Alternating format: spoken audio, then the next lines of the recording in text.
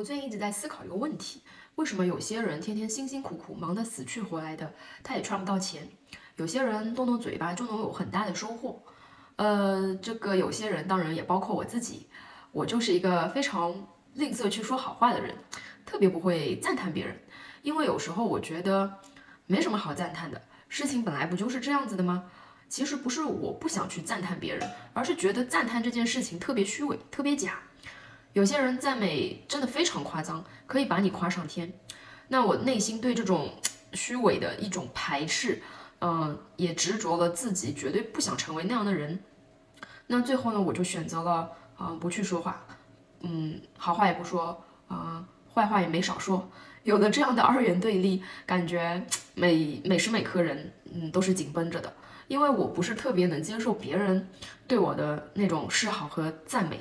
因为就觉得特别假，嗯，所以我也嗯不可能有发自内心的去给予别人美好的一个赞美。那视频前的你有没有和我有同样经历的小伙伴呢？嗯，甚至有些时候我听到一个朋友在赞叹另外一个朋友，比如说这个人学习成绩非常好，考到了某某某大学，非常了不起，特别优秀。那这个时候呢，我会突然产生一个反感。嗯，我不是说我会去嫉妒那个人，而是我觉得那个人并不是我朋友说的那样好。嗯，因为朋友看到的是别人的一个优点，而我听到了这个优点，他其实马上转入了，就是转入了别人的一个缺点啊。其实这个就是一个呃，我觉得思想的不一致吧，我执特别重。嗯嗯，其实这就是内内在的这种自我意识，啊，也有一点嫉妒吧，也有点心胸狭窄的一个表现吧。但是可能你开始的时候也发现不了，只是只会觉得可能观点不一样。那以前的内心世界真的是非常糟糕，不会赞美别人也就算了，我值真的也特别的重。呃，我在休学之后呢，内心世界真的有了很大的变化。现在在生活中呢，就加入了一个习惯，叫随喜赞叹。开始的时候呢，觉得有点别扭，很刻意。但是发心的时间久了以后呢，慢慢的我发现心量真的打开了，我也学会了呃接受别人的赞美，也会发自内心的去赞美别人。呃，这种赞美其实是你无意识中就去赞美别人了。那前一段时间我也在庙里面做义工，我早上进去的时候就看到了大师姐，就觉得她今天特别年轻有活力啊，我就脱口而出赞美了她一下，说她的衣服也非常好看。然后他突然啊就说这个衣服其实更适合你，然后说要把这个衣服送给我。我当时也没有多想，然后第二天啊他真的就给了我衣服，还送了我咖啡。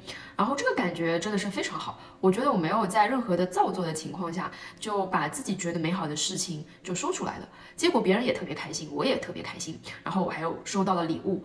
那小时候父母让我去过年，去亲戚家里面拜年，我都不愿意开口叫叔叔阿姨过年好。呃，现在想想这真是少了多少压岁钱。嗯，人生就是这样，可能有些人出生就明白的事情，有些人要用半辈子很久的时间才去明白。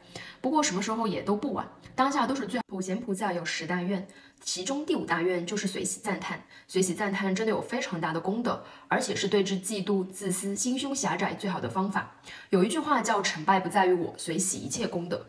一个人是无法完成所有的事情的，因为每个人的因缘业果不同。那么，怎么样才能完成所有的事情呢？发自内心、真诚的赞美、随喜他人的功德吧。这既是行善，同时赞叹他人也会获得和行善者一样殊胜的功德和福德。这是不是很厉害呀？嗯，比如你你赞叹一个人布施了很多的钱财，那你也会获得他同样的功德。那这个布施的人还要辛苦的去赚钱再布施，你一句话就享有他同等的功德。那真的是不是非常的好呀？嗯，所以说一些好话就能，嗯，有非常大的一个功德和好处。当然，这个是要发自内心的去赞叹他人，而不是带着一种目的性或者有一种虚伪的感觉。